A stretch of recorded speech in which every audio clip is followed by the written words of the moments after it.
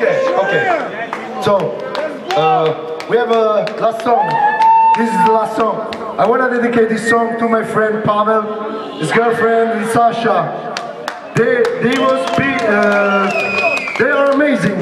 I haven't word to describe the hospitality and everything. We hope to come back here soon. Thank you, Kiev. Maybe, maybe this song you know is from uh, our first album. And guys, don't do this at home. Don't put sulfuric acid on your genitals. Don't pour sulfuric acid on your genitals.